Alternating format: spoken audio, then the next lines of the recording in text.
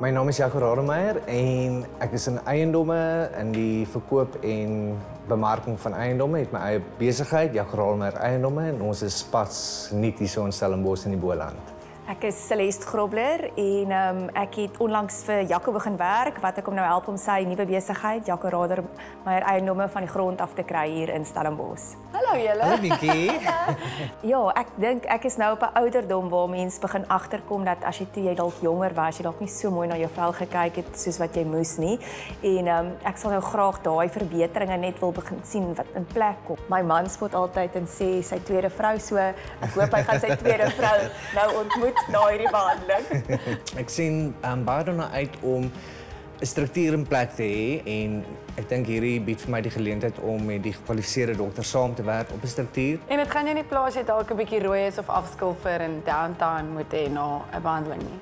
Nee, want ek moet sê ek het nou al gesien hoe jy so mooi met jou hoetjie in die kar rondry en weet hoe hoe jy dit hanteer en ek dink omdat mense ook na die tyd altyd sien hoe mooi die resultate lyk. Like. So, Absoluut, ja. ja. My ma het altyd gesê wie mooi wil gaan met pyn uitstaan. Exactly. So dit is nou maar die ou gesegde.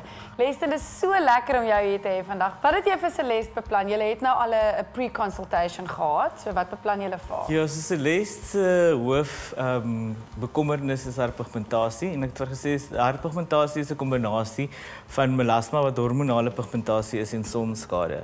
En dan is ook 'n paar inspuitbare behandelings beplan wat ek dink haar eintlik 'n bietjie benoud het, alhoewel sy sê sy het niks oor sy benoud is nie.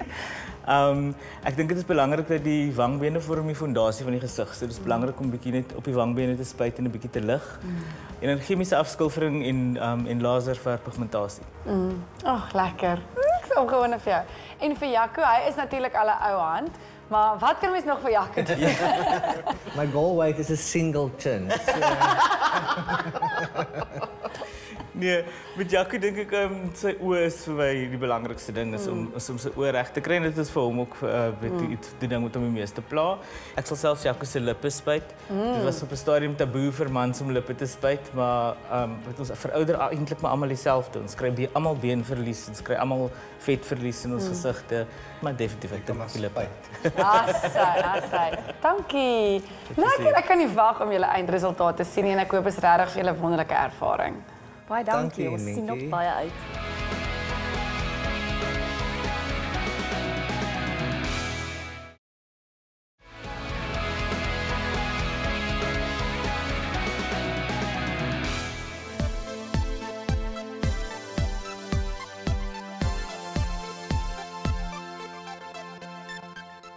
You have been nicknamed the Minky Jeff Squad.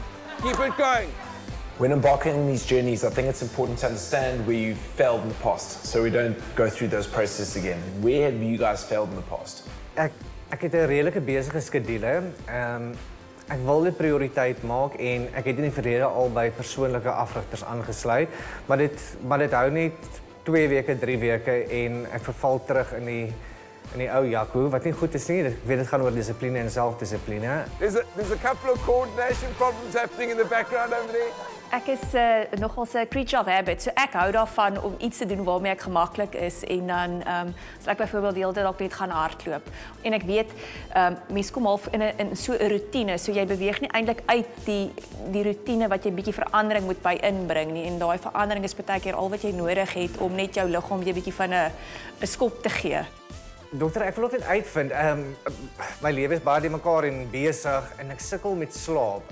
Wat wat is die is dit regtig so waar dat hulle sê mens moet 'n goeie nagrus inkry en hoeveelheid ure? Ehm um, so Skinner Renewal praat ons van die vier pilare van verjonging wat inspuitbare behandeling is, ehm um, in salonbehandelinge wat goeie soos chemiese afskilfering en laser en daai tipe ding is, dan supplementasie. Mhm. Ehm um, en oefening natuurlik gaan jou ook beter laat slaap.